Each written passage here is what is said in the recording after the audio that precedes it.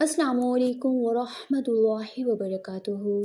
मैं उम्मीद करती हूँ कि आप सब खैर आफियत से होंगे और ईमान की बेहतर हालत में होंगे।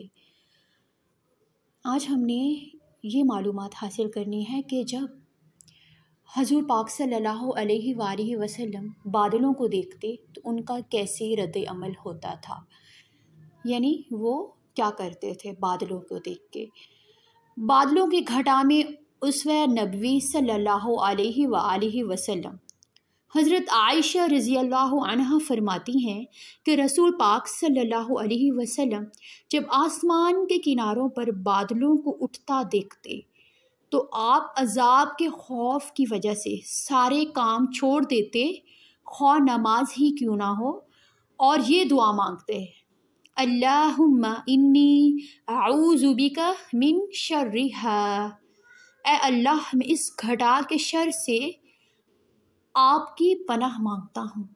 फिर अगर बारिश हो जाती तो आपको तसल्ली होती और आप ये दुआ फरमाते अल्लाह सय्यबन हनी अन ए अल्लाह, इसे खुशगवार बारिश बना दे। इससे हमें ये मालूम होता है कि हजूर पाक सल्लल्लाहु अलैहि वसल्लम बादलों को देख के खौफ महसूस करते, क्योंकि पहले वाली बहुत सी उम्मतें ऐसी गुजरी हैं जिनको आंधियों और तूफ़ान के शर से तबाह कर दिया गया, उनको गर्क कर दिया गया।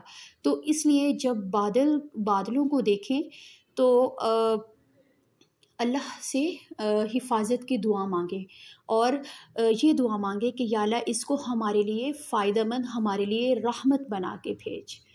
ओके, अल्लाह हाफिज़।